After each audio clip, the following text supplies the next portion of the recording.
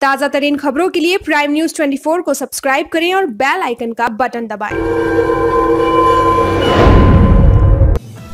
नमस्कार, आप देख रहे हैं प्राइम न्यूज़ 24 और मैं हूँ आपके साथ कोमल सिंह।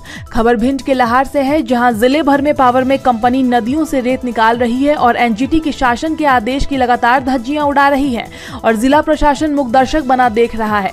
वर्षा काल में जलीय जीव जंतु प्रजनन करते हैं, इसी कारण वर्षा काल के तीन महीने तक एनजीटी के आदेश से नदियों से खनन पर रोक लगा दी जाती है, लेकिन इसके बावजूद भी पावर में कंपनी लगातार नदियों से खुलेआम अवैध रेत निकाल रही है और उसके लगे लगे प्राइवेट ठेकेदार अधिकारियों और पुलिस के नाम पर लगातार वसूली कर रहे हैं।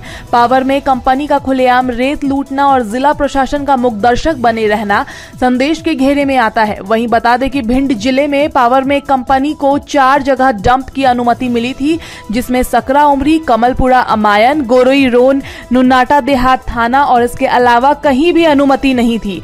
इसमें कई जगह ऐसी है जहाँ रेत डंप नहीं है, लेकिन कागजों पर रेत डंप दिखाई जा रहा है। और सीधा खेल नदियों से चल रहा है। लहार के ब्लॉक कांग्रेस अध्यक्ष देवेंद्र त्रिपाठी का कहना है कि भाजपा की अंधी बहरी सरकार में अधिकारी मस्ती में चूर हो गए हैं। कोई पूछने वाला नहीं है। जब तक उच्च स्तर से लगाम नहीं लगाई जाएगी, अंधेर नगरी चौपट राजा जैसा राज जारी रहेगा।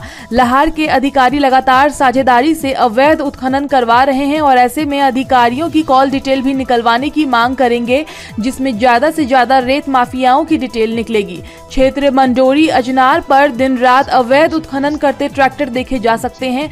रात होते ही रेत का खुला खेल देखने को मिलने लगता है। हम वरिष्ठ अधिकारियों से शिकायत कर अवैध उत्खनन को पूर्ण रूप से बंद करवाएँगे। अगर वरिष्ठ अधिकारी फिर भी लापरवाही बरतते हैं तो जन आंदोलन करेंगे। प्राइम न्यूज़ 24 के लिए इमरान अली खान की रिपोर्ट।